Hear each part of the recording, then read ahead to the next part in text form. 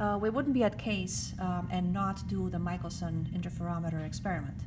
Um, as you probably know, uh, lots of things around campus are named after, after um, Michelson, and that's because he did some great experiments at Case.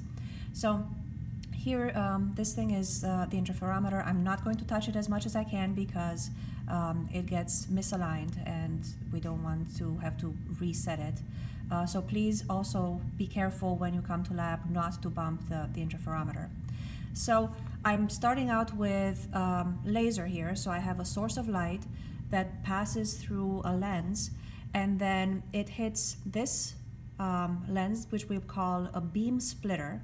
And as the name suggests, that beam will, that lens will uh, split the beam coming through this lens, and part of the beam will travel through and hit this mirror.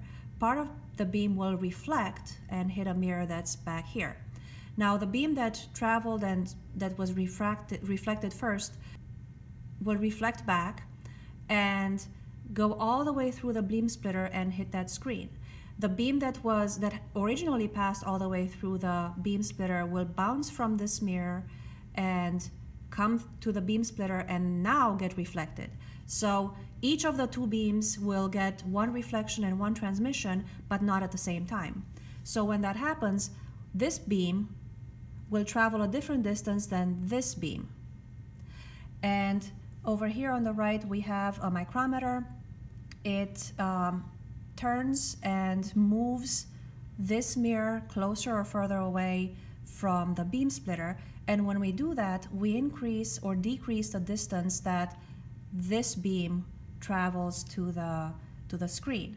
When we do that, uh, light from the two different beams is going to interfere and we will see fringes on the paper over there.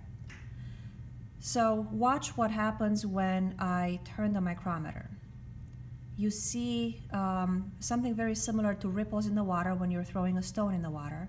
Um, and what you have to do for this experiment, you will have to um, count 50 fringes uh, that appear at the center there and go by, and then uh, measure how much or record how much you turned the micrometer to know the path length difference between those two beams. Um, knowing those two quantities, um, then you can solve for the wavelength of this light.